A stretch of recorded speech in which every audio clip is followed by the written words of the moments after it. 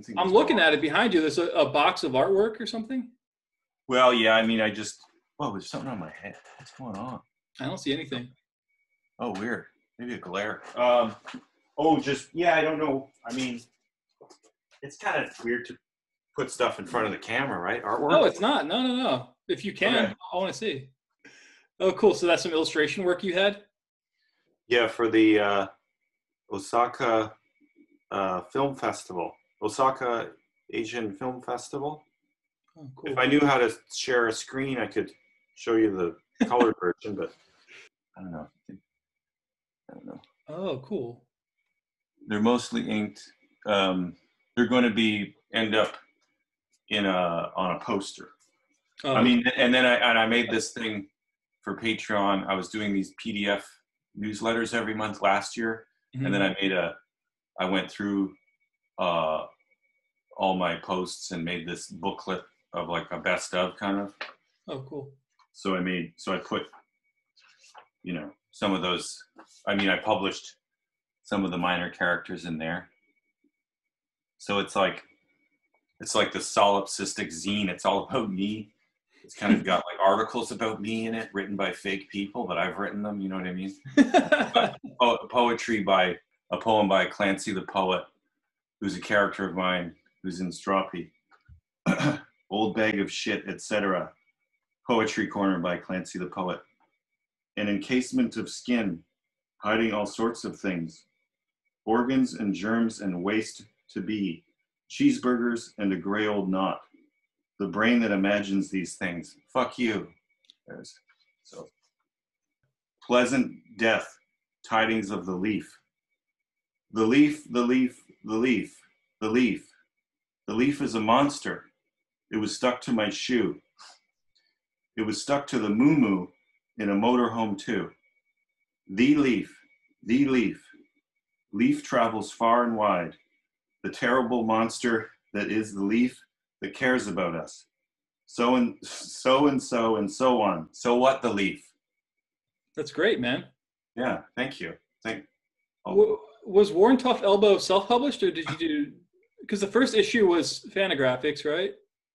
first issue was Fantagraphics in 2014, and then the second issue was self-published, yes, uh, in 2018. So there's quite a gap.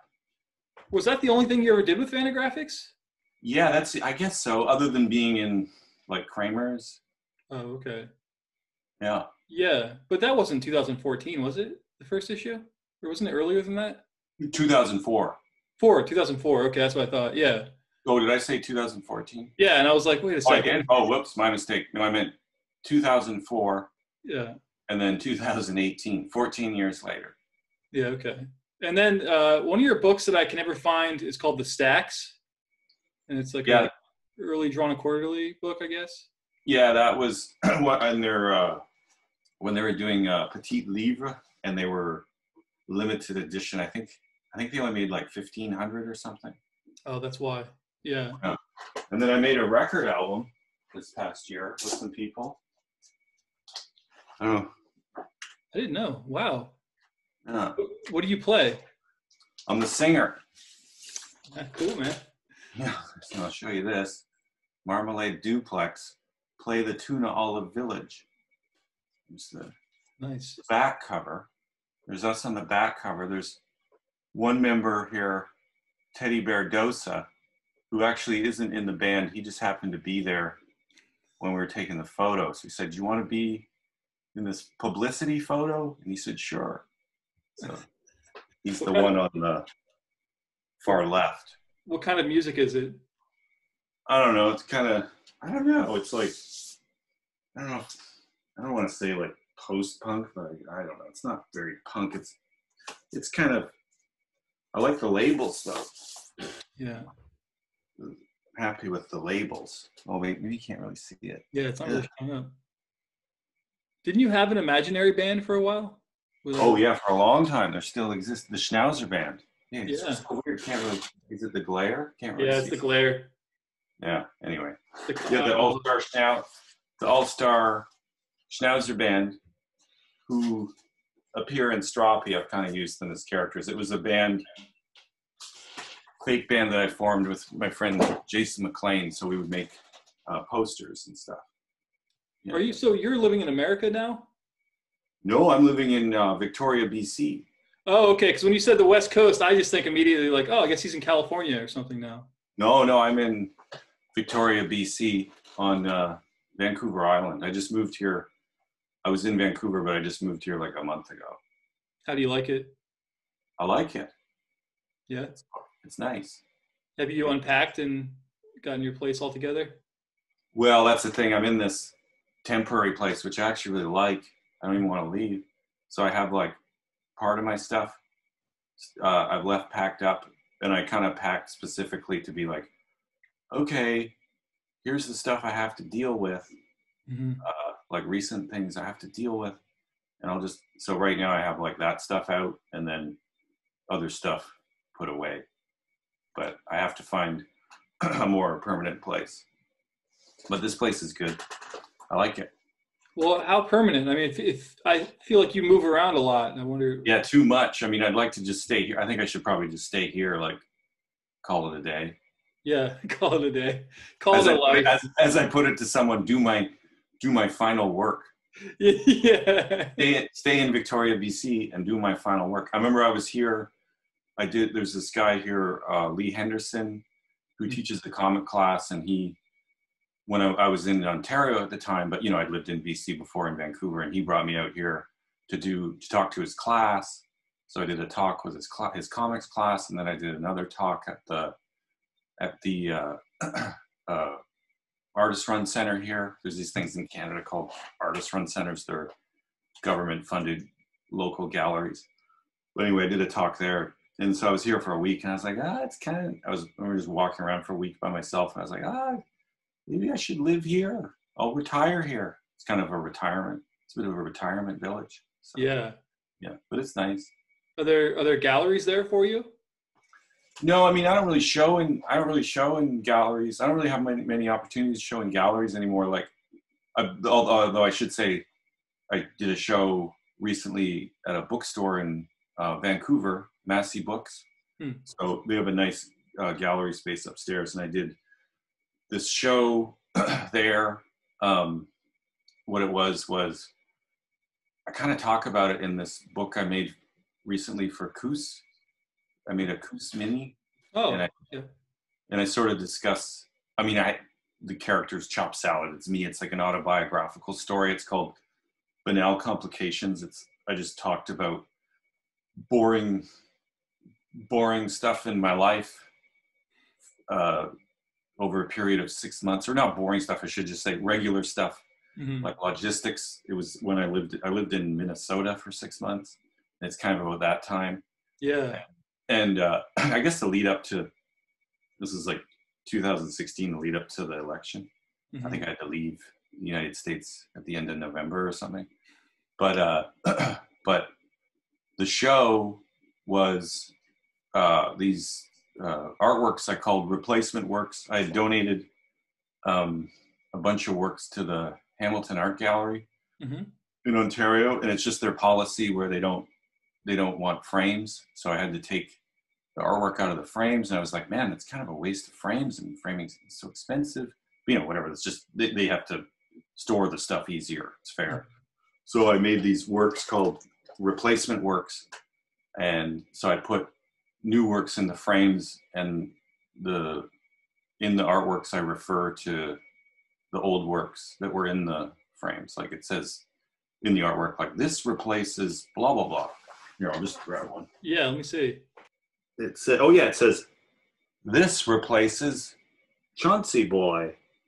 So the artwork, an artwork called Chauncey Boy used to be in this.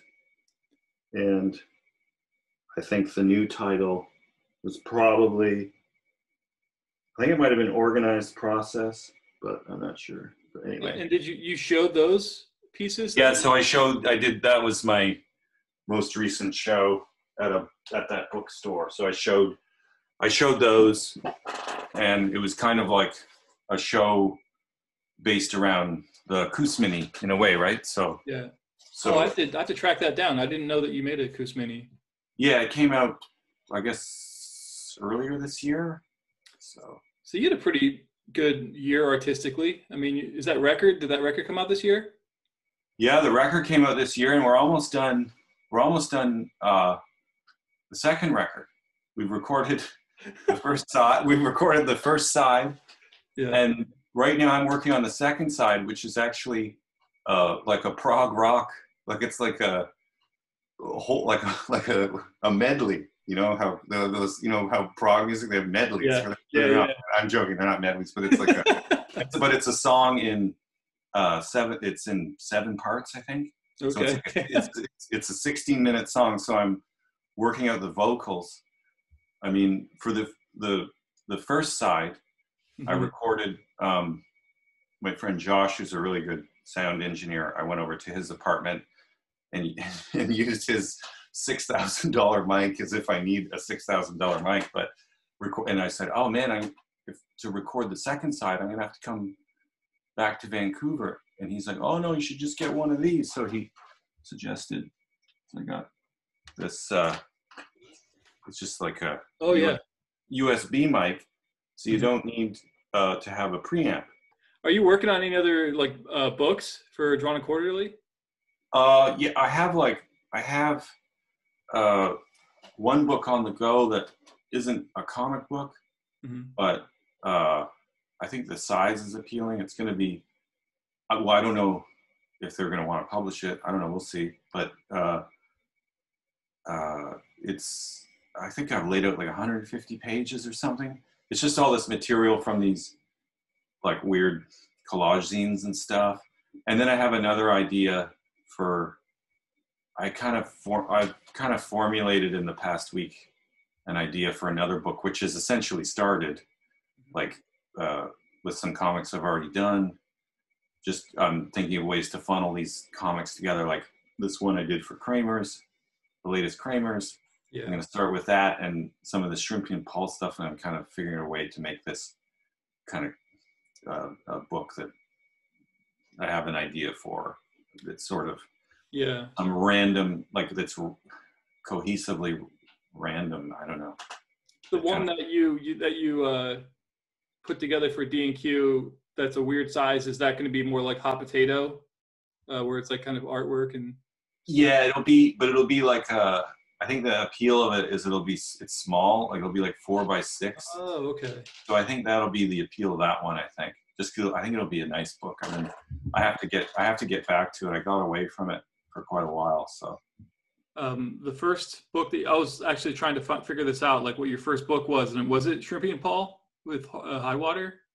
my first real like uh Yeah, Yeah. because you self-published like Mojo Action Unit or whatever that yeah was. yeah. I mean, early I was I mean I was first published by Caliber Press. Oh, I didn't know that. Yeah yeah man, they're Iconografix imprint. They Oh, when- yeah i mean i was self-publishing i i well first i self-published with this friend of mine who was in my art class who was kind of who worked at a comic store i didn't go to comic stores but he would bring in comics like he was like here you should check this out and brought in yummy fur to show me Mhm. or like or you know ran kind of random stuff like boris the bear i don't know if you remember El- Elf Quest. yeah, well, no, I mean, particular things, and then and then I got into neat stuff, and Mm. I got more into interested in actually going to a comic book store because I didn't go to those when I was a kid at all. I just read Ned magazine and stuff. Mm. But and then Mike and I, I had this character uh, named Jimmy, so we made these two comics, or actually I think there was three issues, Adventures of Jimmy, and then um, and we made and then another friend of mine and I made had a swish barrel and we made uh, Jimmy juice. We made labels for this whiskey. This like I don't know. Swi you buy like old. It's so stupid. You buy like an old whiskey barrel and put water in it and make swish. Roll the barrel every couple days. Huh. Anyways, anyway, so maybe that's just too much of a tangent. But anyway, and then I started. I made this book um, or this comic, Yippee Skippy Yum Yucks, and then I made this comic, uh, Funky Chicken, and then that led to me trying to get pu- Funky Chicken. Such a stupid name, and then that led to me me to uh, trying to get published, and I convinced Caliber Press to publish. I drew this comic called Boof, which was weird because at the time Todd McFarlane had a character at Image Comics called Boof or something. So I think he contacted Caliber and was like, "Is this guy Marc guy? Is he gonna do another? Is he gonna do more of this Boof stuff? Because I have this character Boof." So the so that put a stop to that. And then I was and then I was off to university uh, on the east coast of Canada, the Maritimes, and I was working on my next Cal- Caliber comic, Mhm. Iconografix comic called Hep, and um, he, they didn't really want to do it, and I had to beg them. I had to be like, "Look, can you can you do this? If it loses money, I'll pay. I'll pay for the loss." Mhm. And they and they they ended up doing it. And I was doing things like I took ads out, like I took an ad out in the Comics Journal. Like I saw that.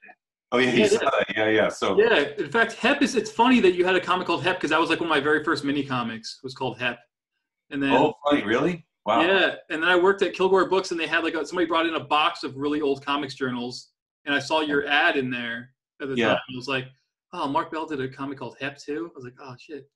and then oh that's funny and then and then I, and then after that i started then they finally were like no we can't we can't do this anymore and so that's when i uh, started self-publishing again doing M-A, macu number one well, and were then, you going? and, then, and then and then started publishing in um, exclaim at first at first i was negative about it there was this free sorry to interrupt but there was this Oh, yeah. free uh, uh, music uh, newspaper in canada called exclaim Mhm. and they, they contacted me and said do you want to do a monthly strip for us and at first i was kind of like ah, i don't want to do that kind of thing but it was actually a really good thing to do because because the exclaim just goes everywhere they would go to little towns like for the longest time, I'd have still have people coming up to me saying, "Oh, I saw your comics first in Exclaim in you know whatever little town I'm from." 'Cause it's just this free music newspaper, and they had Mark Connery in there, Joe Ollmann was in there, Fiona Smyth, all, you know, Alan Hunt, all these people, and uh, you know, it, it was just a good way to get work out, and that's where I developed uh, Shrimpy and Paul. Oh, okay. So they, Yeah. that was the comic strip. It was a Shrimpy and Paul strip. Well, first the first one was uh, Monsieur Moustache and Friends. hmm I was drawing Monsieur Moustache for the university paper a little bit. I mean, though, though, and I went back and scanned all that stuff, and I was going through it. I'm like, ugh, so ugh, I can't even bear to look at this stuff. But the, yeah, the first exclaim comic was um, Monsieur Moustache and Friends, and it was like half a newspaper size. It was pretty big. Yeah. And I think by the time I started, I can't. No, I think. Oh no. And then for a while, the shrimp. Then I started Shrimpy and Paul, and that was like half page size. And then, and then they squashed it to a quarter page size. And then I was like, oh, I still want to get the same amount of work done. So I just jammed like the same amount of panels almost in like a quarter size. So people were probably like, That, that reminds me of. I remember the Shrimpy and Paul book. Uh, didn't you like have like a cutout of one of the strips with like a mean? Wasn't it like a mean letter that somebody had written to the paper about your comic or something in there? Oh yeah, that was actually um, uh, I think to the coast. I, then I started doing a, a weekly uh, for the for the coast in Halifax and for uh, the Montreal Mirror. And I think that letter. I think that you mean the cartoon, the comic strip that someone drew. Yeah, I, I'm. Yeah, yeah, yeah. I'm just like vaguely remembering this.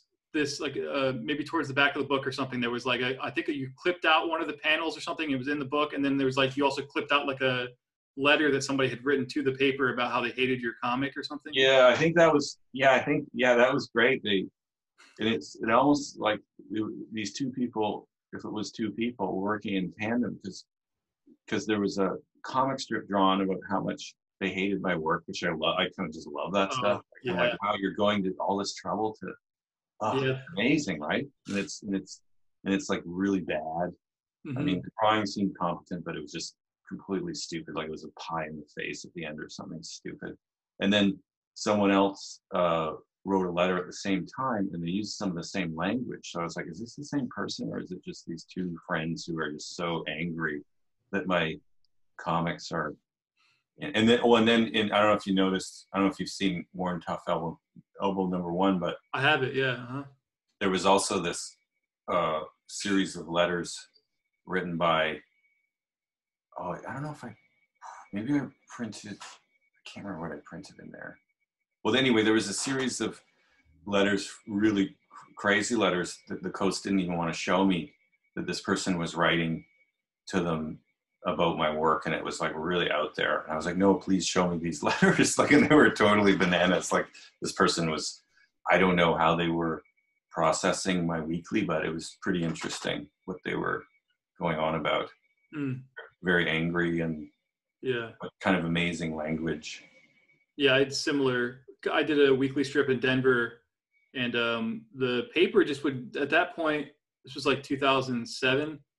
They were just like not really getting that much mail, so like any mail they got, they would print it, and there'd be all these mean emails about my comic that they would just print in the paper. And it, I was a very young man at the time. It just always like hurt my feelings so much. oh yeah well fair enough i don't know yeah did it really actually did it get to you Oh, you, I mean, it did. Now, you know, I mean, you get tougher over the over time, but well, it Yeah. depends on what it is, like how mean it is. Yeah But they were really pissed off because when the paper started running my strip, they stopped running Derf's strip, the city. okay the city yeah i remember the city i think i was on the same page as the city Yeah. yeah So people thought that I took Derf's spot or something, and so like all these mean emails would come in, and they just would run these. these Wow. letters. You're like, I like- you're like, no, it's not up to me. Yeah, I might have even, in fact, like written like on in the margins, like I didn't take Derf's comic space or whatever of my own. Oh, that's good. That's good. I hope you got the picture. Lighten up. like I, I can't even. Do you even read like the reviews of your work? Uh, yeah, I get a, yeah, I kind of get a kick out of it. Like, uh, like I'll read. I mean, it can be, it can be. I mean, I get it though. It can be depressing. Like you read Goodreads and you're just like, oh, Oh yeah, this is like. I think you know cer- certain things can you know get to me where I'm I'm like I, I can uh, maybe I block them out, but there's certain times where something can really you, you, you end up feeling like a fraud or something when you read this. isn't that? But isn't that weird though? Because it's true, like they say, like you can be complimented like all over the place, and that doesn't stick with you as much as like one mean thing that somebody says. Yeah, like there's most things I find kind of entertaining, like I kind of get entertained by people hating this stuff, but some yeah, there's the odd one where I'm kind of like, ooh, yeah, I can't. I'm Yeah. trying to think of one, but I can't. I probably maybe I blocked it out. It was so painful, Noah, Yeah, or the few that I blocked out. They were just hurt Well, me so much. I think it's when somebody hits on something that you kind of feel about your work, but you're Yeah. hoping nobody else notices. That's it. That's it. And some people can really like, like, oh, they know turn So- the knife. when you were doing the comics for Caliber and even like your self-published stuff, would you go to comic conventions and like set up and or, or sit at the publisher's table or anything? Uh, I did. I, I did. I went to. Um, I went to. I remember going to one in London, Ontario, where I grew up, and uh, By the way, I just want to say really fast, it's really funny that it's like Marc Bell was born in London. You're like, oh, Ontario. Oh. you know, I'm not not from, but the, but um, and I mean, I was kind of fascinated. I mean, I was kind of fascinated by this strip in the local paper called "Holding Up Well," which was by these two guys. I was kind of fascinated by tho- that strip, so I was kind of fascinated they were there as well. I can't really explain this strip. I mean, it's just it was just a local daily comic strip called Mhm. "Holding Up Well," which uh, was by two young men about uh, an old man, I believe. But anyway, they were there, and then I would go. Um, I think I did go maybe to one in Toronto too, or something. But then I started going to these. Um, but then zine fairs became popular, and Toronto for for a time was was pretty great in a way because they would have a lot of kind of literary uh, book fairs, you know, like so it would be comics and it would be uh, different different kind of kinds of publications like zines in general and comics and I Mm. can't remember it was just the Toronto I can't remember the name of these the name of that particular one but then there was uh, but then you know Broken Pencil started up Oh yeah. this uh, zine review magazine, and they had a little fair, and um, and then I guess more more recently is uh, Zine Dream maybe uh, filled filled the gap there. Yeah. So, but I was so I wasn't so I wasn't really going to comics festivals until um, I guess early 2000 I guess early 2000s when Alvin Buenaventura start was interested in my work and and I was started doing some projects with him. So then I would go down. I was in Vancouver at the time, and it was easy to go down the coast. So I would go down to San Diego, and then uh, and then and then I went down when uh, for when Highwater was there and stuff. Highwater would share a table with uh, with uh, uh, Sammy, I think, if I'm not Oh, okay. mistaken, when Kramer's coming out. So Tom approached you about uh, collecting Shrimpy and Paul because he had seen it in the newspaper or something. Well, he would order my my uh, books to uh, Million Million Year Picnic, so he was he was familiar with the work through through there, and then you know, and then once he was interested in making the book, it really kind of helped guide me with the uh, monthly comic strip I was doing for Exclaim because I was like, oh my god, okay, so so I started thinking about it more as a book at that point. Like each strip had to build up into a bigger story or something. Well, I think I think well, I mean, what happened? I mean, I first serialized the story, the ball, the goose, and the power, and I think I that I made that as a mini comic. That Mhm. came out as a mini comic, as a, a issue of MACU. I don't want to say the whole name because it's so dumb. And then, uh, uh, and then, and then, and then the second, and then the second story was about uh, Paul losing his nipples. I don't know if I knew it was going to be a book at that point, but I know by the time I was working on the third story, I think it's called the Mighty King. Mighty Kingdom of Shrimpy Ub or something. I think by that, but maybe it was part, maybe it was part way through that that I knew it was going to be a book, and then I really started thinking about how I was going to piece it all together. Those are the three main stories, and then I had all this other miscellaneous stuff, and I, I really got into thinking about how I would piece it together. And what what was the comic scene like at that time? It was like was this before Fort Thunder and all that stuff? No, they were no uh, Fort. Th- when did Fort Thunder? The late '90s, maybe. Yeah, late '90s. So this is like around. This would be around the same time, right? Like this was Yeah. like it's like uh, I think there was I think I've put it this some the same way somewhere before. There was something in the water with uh, these collaborative groups because there was um, myself and all these people in Canada making these uh, weird collaborative books, drawing books and stuff Mhm. and kind of feeding off each other in a way. And then over in Winnipeg at the same time, I mean, we weren't communicating with them, but there was the Royal Art Lodge, and that, was a group of uh, uh, artists in Winnipeg.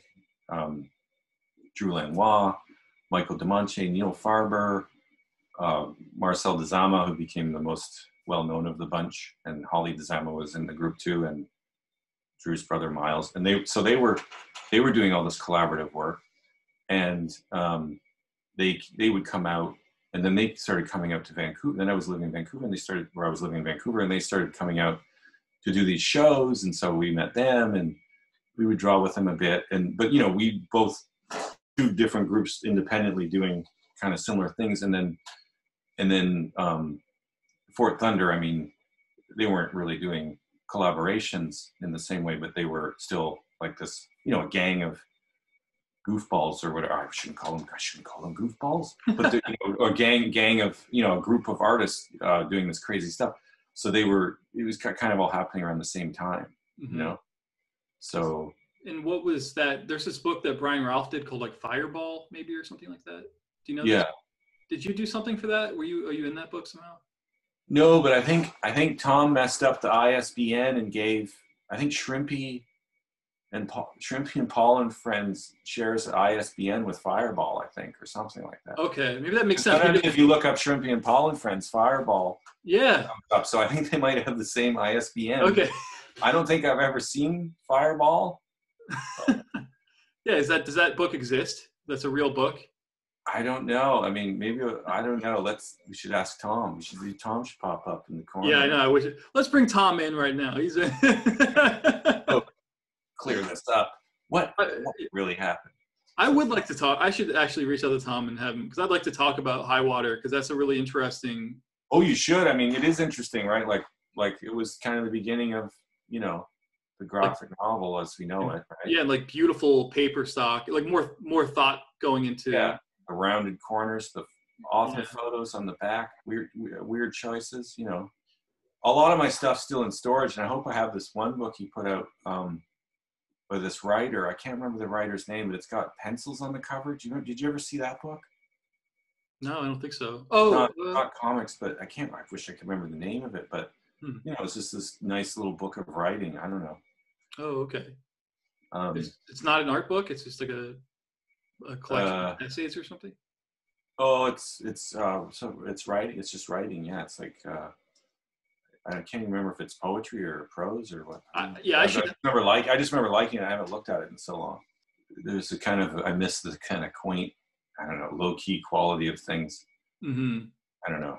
Yeah, I remember I was talking to Eric Reynolds about this. Like, I remember when the biggest controversy in comics was who, uh, Alvin Buenaventura versus D&Q for the right to publish Vanessa Davis. Who does Alvin Buenaventura think he is? Yeah. Alvin was a lot of fun, man.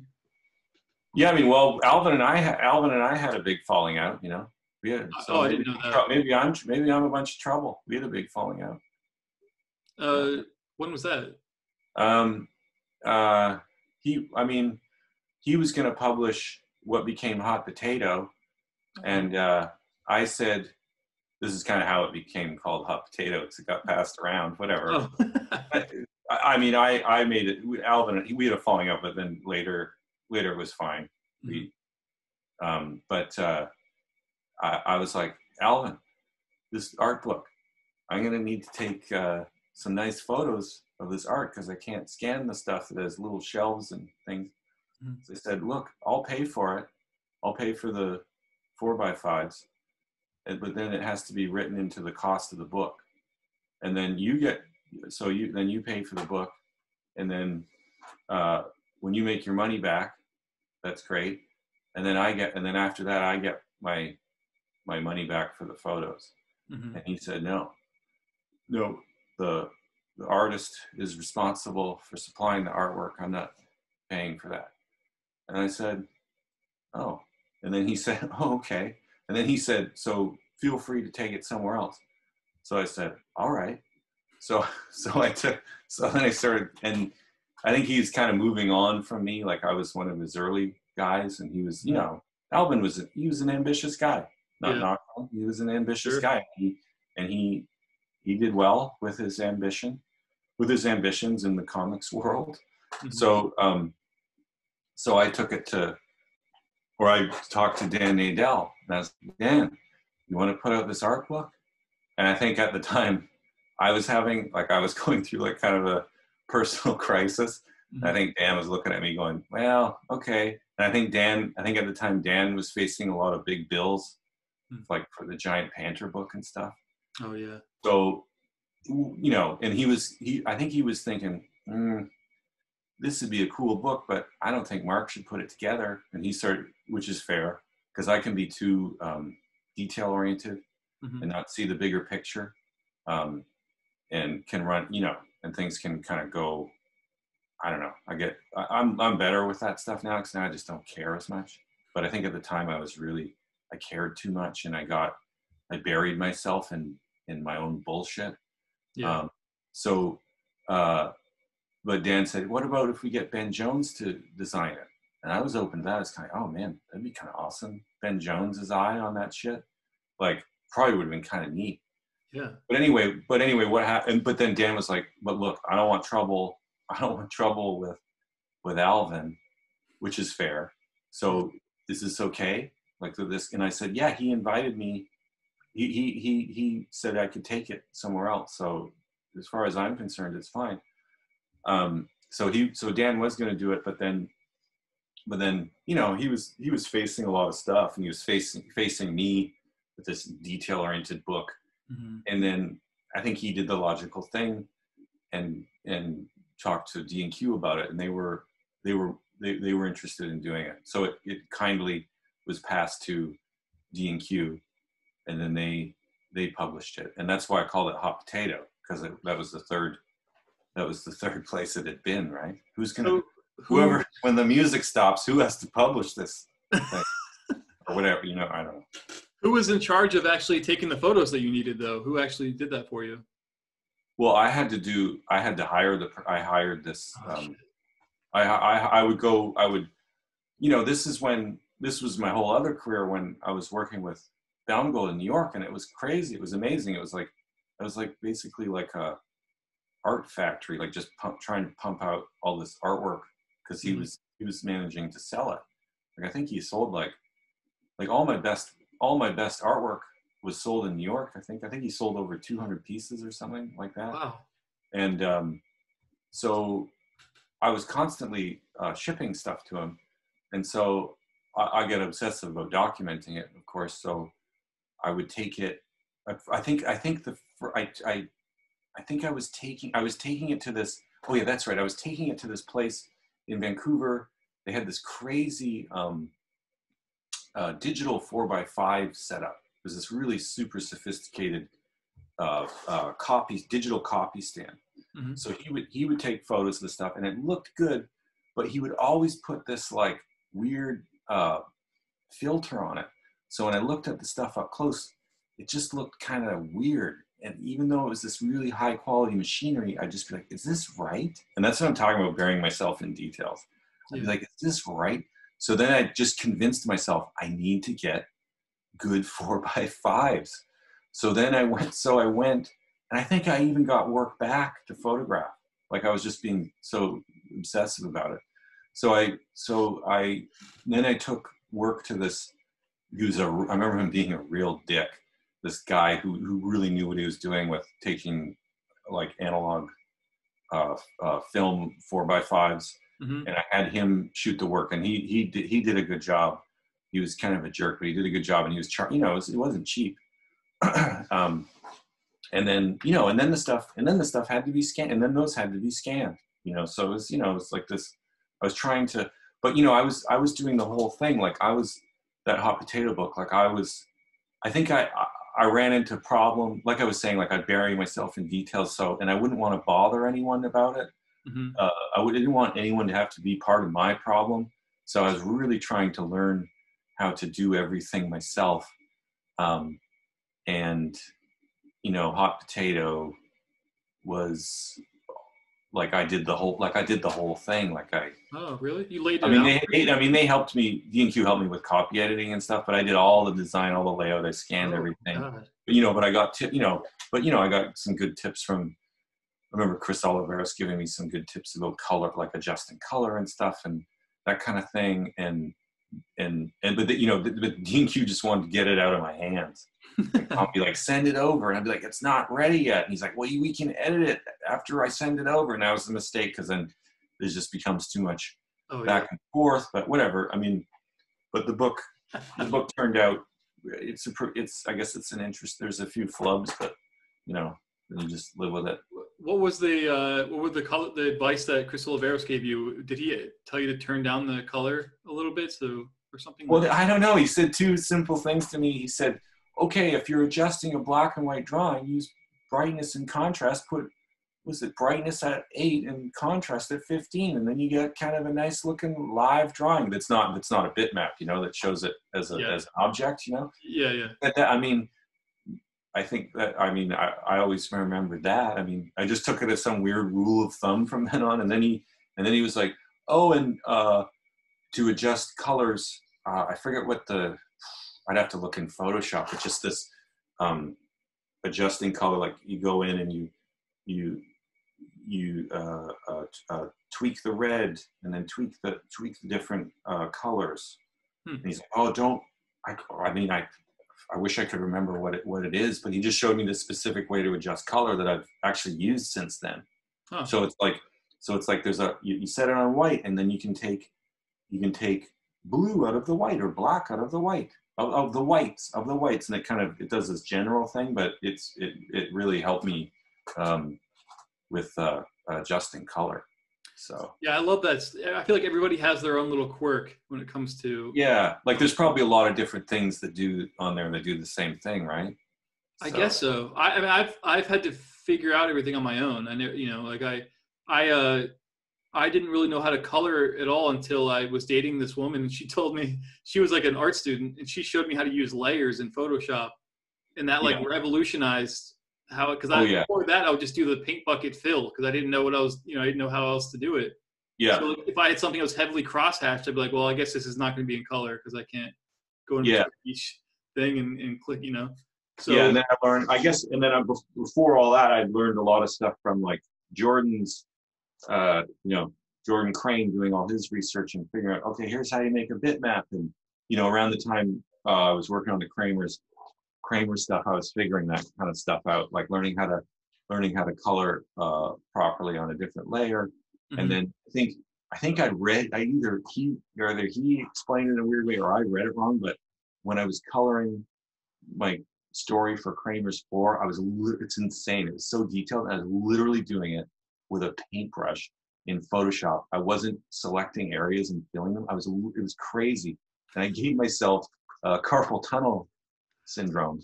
oh my god. and then I think uh, I was messed up, and then uh, for a while, and then Tom actually colored one of my. Uh, this is around the time when I was doing my uh, Vice comics, song comics, and I think I'd I'd just drawn one for um, uh, Mick Jagger song "Let's Work," and I think uh, Tom filled in and colored that one because I couldn't, I literally couldn't do it. I couldn't. So Well, are you still with Adam Baumgold, that gallery? Or No, he no, he dropped me like he. I, I looked at the website one day and I was gone. Like there was no. were you like, oh, I haven't heard from Adam in a while, Adam in a while, and then you went to the website, and then you're Yeah, exactly. yeah, he pretty much he pretty much forgot about me and like like after the hot potato show. I mean, these things have. Uh, I mean, the funny, the ironic thing about that is is I was his bridge. I mean, I'm not trying to. Whatever, who cares? But Mhm. I was. He wasn't showing any kind of comic art at all. I mean, he was showing what was he? sh- I mean, he was showing comic related art and Mhm. cartoony art, but he wasn't showing like comic pages. And then he started showing my work, and he knew, of course, he knew I did comics, but I kind of switched over to fine art, and we showed in my first show we showed a, uh Gustin, um, my Gustin strip that I made for uh, the Ganzfeld. Mhm. Um, uh, we showed that, and some like this guy collect Mickey Carton, this collector bought the whole set or something, Wow. and uh, but then he wouldn't he wouldn't really show anymore. And I'd say, Adam, do you want to show some of my comics? And he'd be like, No, it's just no, Marc, it confuses people. So I'd be like, Oh, okay. But I think we we may have showed a little bit of it. I can't remember in the the last show, Hot Potato, but but ironic. So he wouldn't show the comic art because he thought it would confuse the collectors. But then you know, but then who comes through the door? Like Lynda Barry, Seth, uh, Chris Ware. Maybe Chris Ware was first, but you know, those are the head. Those are the heavies. yeah. And you know, I got. I think what happened was that 2008 financial crisis hit, and all the funny money disappeared. Mhm. So Marc Bell, you know, fun equals funny money, I think, in a way. Hmm. Whereas like Chris Ware equals like solid money. yeah, You know, so I think um, Adam, uh, you know, his you know galleries were closing in New York. There was like a there was like a blog gallery death watch where think like galleries were dropping like flies. Um, that sounds a little dramatic, but it's kind of true. And uh, uh, you know, of course, he survived. He's been around so long. Um, but uh, I think he just realized, oh, there's a you know, there's this market for this untapped market for all this for this other stuff like Ware and Charles Burns, obviously, you know. So, mm-hmm. so and Lynda Barry. So he, you know, he just he went with that, and then Yeah. and I was still on the roster for a while, but yeah, but but then I forget what year it was. I looked and I was like, oh no, no, there I'm gone, I'm gone. I'm not. I got.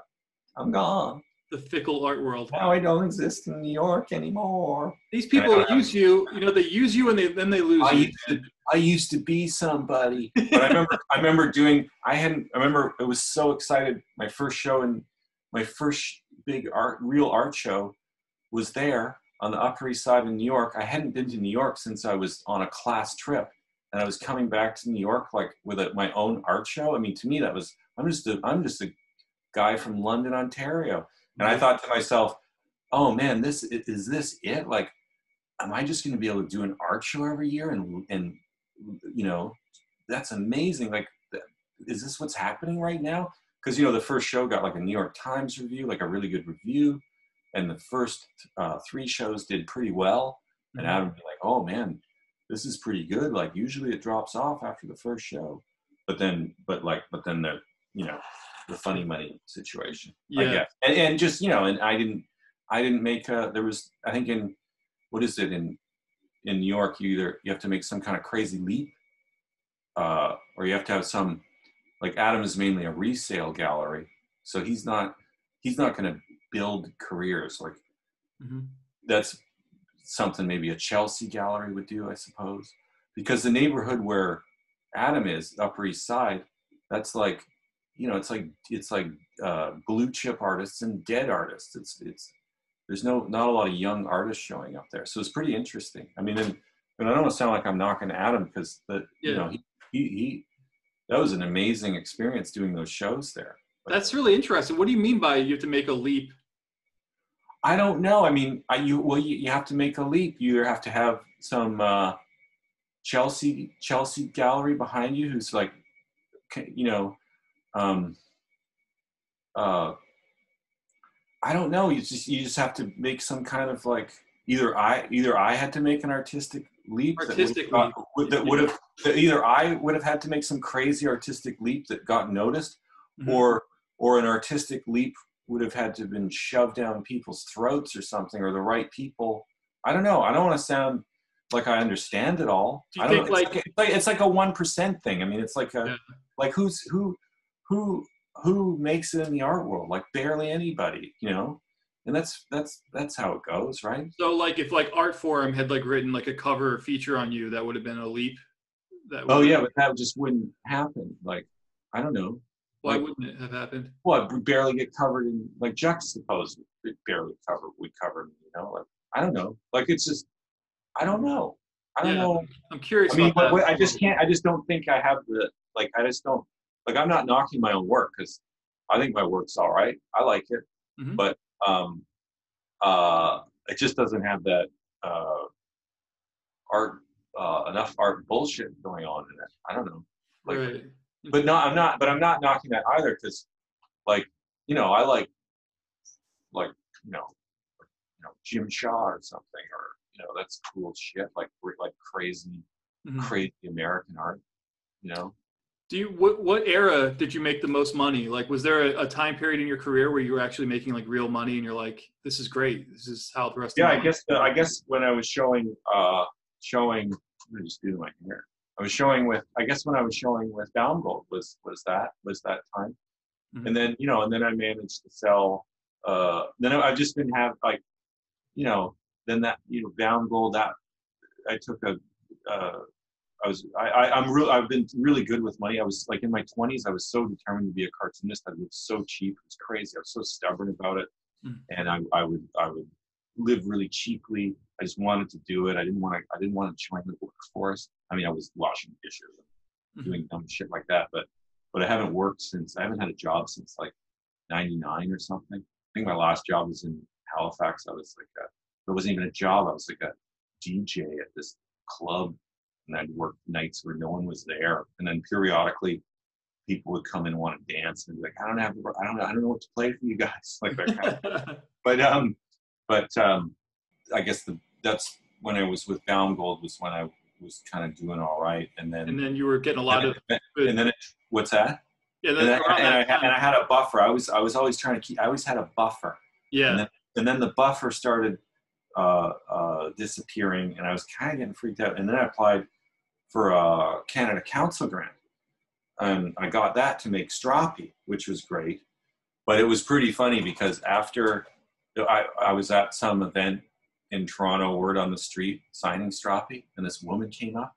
She's like, "Oh, that's oh, there, that's you." She's like, "I shouldn't be telling you this, but I was on the jury and we and we can you believe that? We awarded you this grant. And i was like what? That is like the rudest like that is so rude. I was like why did you tell me this?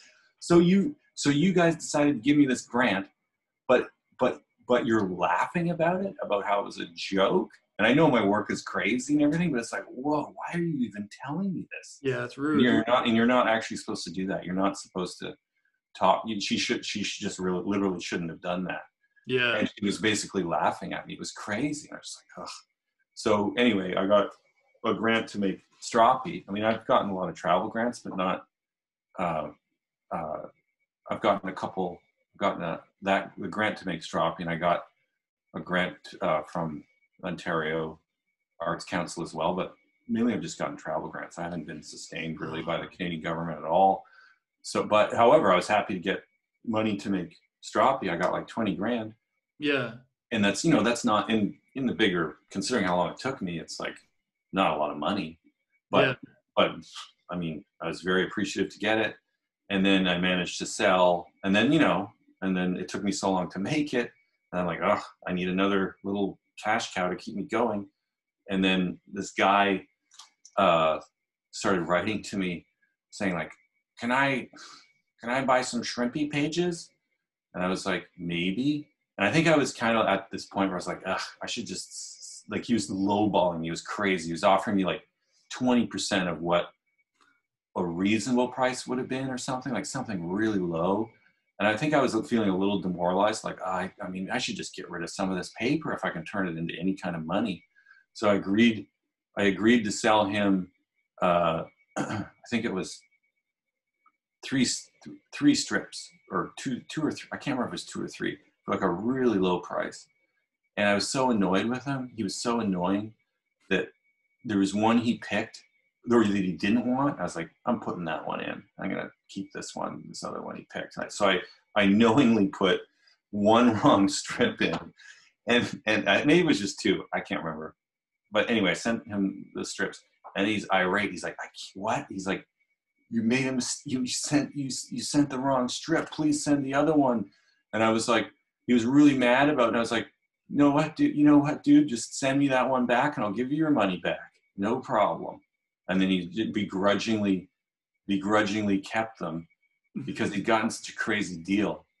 And then, and then, I don't know. And then later, I'm pretty sure what happened was he ended up he turned around and flipped one of them to Scott Eder because I Uh, saw because I saw one on Eder's uh, website. So I wrote to, I wrote to Scott and I said I didn't bring up that story, but I said, "Hey, do you are you interested in any uh, uh, uh, comic artwork? Because I got a bunch." And he's like, "Do you have Stroppy pages?" And I said, "Yeah, I got them all. Do you want to buy all of them?" He's like, "Maybe." And then he did. Then he bought the book. So, so yeah. so that kept so that kept me going. Were you uh like a big fan of Seth? Uh, well, I would. I remember reading those. I would buy those early uh, Palookaville things, Mhm. and then uh, Seth. I mean, I, I lived down when I was. I lived in Guelph for five years, like about a three-minute walk from Seth. I think I told this story before, but like this is like the second day I lived there. Chris Ware, Chris Ware, and Seth came knocking on the door, and was like in the shower, and I I think I answered. I think I actually answered. I think uh, my partner at the time. I think she was stoned and didn't want to answer the door. And then I so I, sort of answered the door and I was like, "Just- I'll just be a bit. but anyway, uh, but Seth, I mean, became like pretty good, like reasonably good friends with him. The guy's hilarious. We go out to lunch with him and stuff. I really wished I'd seen that uh, show in Guelph of his, the kind of, I guess you would call it kind of retrospective. Did you Oh, hear yeah. about the show? in I, did I see it? You, did you hear about it? I saw the photos. I think he published it in one of the Palookaville's where it had all the little houses set up and stuff. Well, this was maybe I don't know. This was pretty recent. Oh, okay. sounded pretty extensive. Anyway, I think I I don't know. Anyway, he's like a world world builder, right? Yeah. Anyway. All right, man. Well, yeah, I've taken a, an hour and a half of your time. Yeah, I think there was a few moments where it was all right.